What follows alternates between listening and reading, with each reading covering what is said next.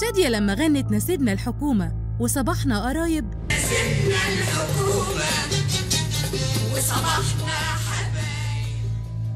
كانت بتتكلم عن حقائق حصلت وما زالت بتحصل بين الفن والسياسة. علاقة مشبوهة جمعت بينهم وكان نتيجتها زواج معلن لبعض الفنانات وسر لأغلبهم. من أشهر الحكايات دي قصة حب الملك فاروق للممثلة اليهودية ليليان كوهين والمعروفة باسم كاميليا. ربطت بين الملك وكاميليا علاقة سرية وفضلت لحد ما توفت كاميليا في حادث طيارة غامض. ولأن الملك ما بيضيعش وقت ارتبط بعدها بالفنانة سامية جمال وحبته سامية لدرجة إنها أنهت علاقتها بفريد الأطرش. وعلى نفس نهج الملك مشي رئيس الديواني الملكي في عهده أحمد حسنين باشا اللي جمعته قصة حب ملتهبة مع الفنانة أسمهان أخت فريد الأطرش. لكن الغريبة برضو إنها ماتت في ظروف غامضة سنة 1944 وفي الخمسينات تزوجت الفنانة ليلى مراد من وجيه أباظة ابن عم الفنان رشدي أباظة وواحد من الضباط الأحرار. لكن جوازهم ما كانش معلن بناء على رغبة أباظة اللي كان خايف زمايله يعرفوا بخبر جوازه من مطربة واستمر الزواج السري ليلى مراد ووجيه أباظة لمدة عام واحد بس. تحية كاريوكا كمان كان ليها نصيب كبير من الزواج بمشاهير السياسة. الزيجة السياسية الأولى كانت من حسين عاكف طيار الملك فاروق الخاص.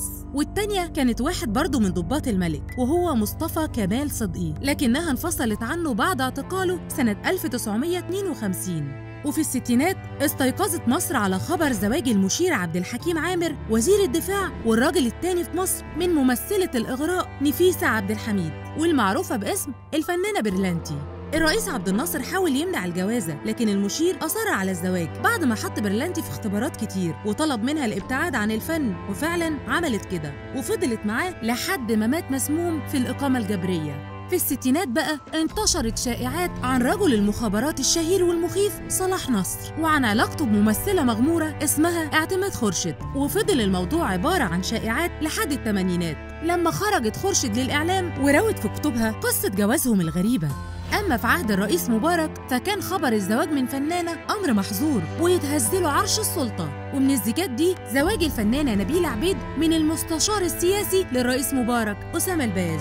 واللي ظل زواجهم سري وغير معلن لحد ما قامت ثورة 25 يناير سنة 2011 وأعلنت نبيلة بنفسها الخبر ده في الإعلام. ومن قصص الحب اللي قضت على أصحابها قصة الفنانة اللبنانية سوزان تميم وعلاقتها بالسياسي هشام طلعت مصطفى واللي انتهت بقتلها على إيد الضابط محسن السكري مقابل 2 مليون جنيه. وتم حبس رجل الأعمال هشام طلعت مصطفى بعد تحريضه على قتلها انتقاما منها بسبب رفضها الجواز منه. حكايات كتير كانت وما زالت لسه مستمرة. نهايات اتكتبت ونهايات لسه ما تحددش مصيرها. لكن الأكيد إن زواج الفن والسلطة زي ما بيفتح الباب للحب بيفتح الباب للدم.